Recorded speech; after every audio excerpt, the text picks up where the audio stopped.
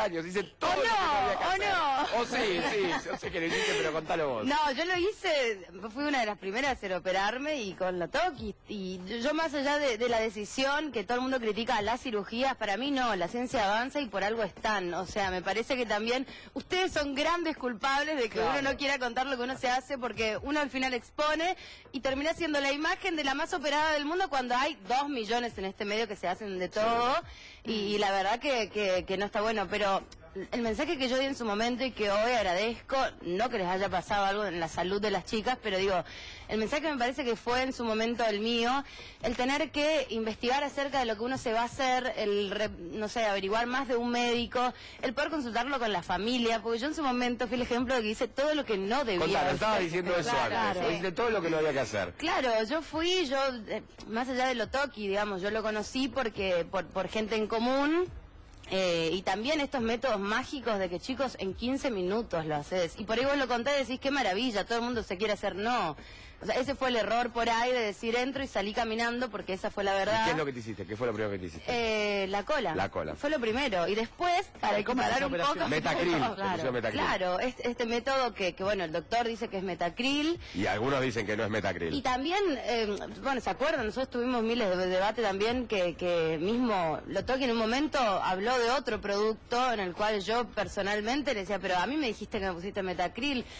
Bueno, eso no lo vamos a hacer nunca porque también para hacerse una biopsia tenés que eh, extraer un poco y la realidad es que yo después de la- las cirugías que me hice te quedas con un poco de miedo. Después te hiciste lolas vos para claro, compensar un poco. tenés que compensar, ¿qué va a poco. Era un ¿Y el palito. metacril lo, lo, lo tenés controlado, digamos? hacer- Mira, eh, sin querer, hace, bueno, ya yo vine desde hace un montón de tiempo haciéndome cosas. que Novarecio su levanta la vista cuando yo dije lo tenés controlado y le pregunto, lo, lo meto un, un segundo al doctor Claudio Santamaría, eh, porque mm, supuestamente el metacril puede ir migrando, como muy bien decía Vicky Cipolitakis, entonces a- hay que controlarlo, hay alguna forma de, de tener este tenerlo cuidado, a ver dónde está. Hay que decir dos cosas, serían muy importantes. El polimetil metacrilato, que así se llama la sustancia, no está aceptado por el ADMAT ni acá ni en ninguna parte del mundo para hacer colas, aumentar el tamaño de los glúteos.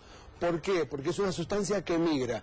Está autorizada solo para pequeños rellenos del surco, de los labios, Sí. los ojos, en, en la cola una celulitis, pero no más de 2 o 3 centímetros, no un tamaño. Para la cola se puede hacer o grasa o hacer implantes como el de las mamas, implantes glúteos. Eso es lo que está autorizado por el ANMAT y por los La colegios de mezcla con cirugía. grasa porque creo que dicen que hacen eso, Claro. que mezclan un poquito del metacrilato una con un pasta. poquito de- El- yo hablé con cirujanos plásticos que se dedican a eso, me dice que eso es imposible Es técnicamente. sí. O lo haces con y grasa o lo haces con metacrilato. Ahora, el metacrilato es tan caro Claro. que si lo hicieras para tener un volumen de 200, 300 mililitros, lo que va en cada glúteo, costaría arriba de 500 millones, eh, 500 mil pesos. Sí, nos dijo acá el doctor que Sí, vino sí, que sí, una cola como la de Silvina Luna vale medio millón de pesos. Bueno, y a mí me costó gratis. Ya.